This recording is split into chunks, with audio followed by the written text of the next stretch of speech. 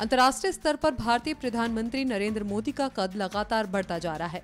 मोदी की तारीफ़ देश के साथ साथ विदेशी मीडिया भी कर रहा है और अब चीनी मीडिया का नाम भी शामिल हो गया है।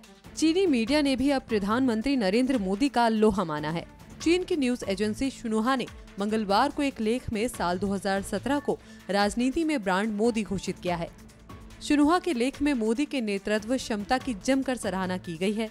दरअसल ये लेख साल का लेखा जोखा पेश करते हुए लिखा गया है, जिसका टाइटल है, Modi web workers magic for India ruling BJP in 2017 शिनुहा अपने लेख में मोदी लहर के बारे में लिखता है साल 2017 में जितने भी राज्यों में चुनाव हुए हैं, मोदी ने सभी जगह मास्टर स्ट्रोक से अपनी छाप छोड़ी है।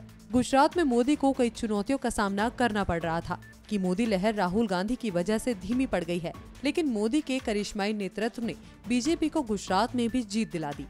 इस लेख में उत्तर प्रदेश से लेकर गुजरात चुनाव और नोटबंदी से लेकर जीएसटी तक के बारे में गहनता से लिखा गया है, जिससे पता चलता है कि चीन मोदी सरकार की नीतियों पर गहराई से नज़र रख रहा है। हालाँकि चीन ने साथ ही साथ मोदी सरकार और बीजेपी को सलाह भी दी है। लेख में ये भी लिखा गया है कि बीजेपी वास्तविकता की भी जाँच कर ले। एनएमएफ न्यूज़ की रिपोर्ट।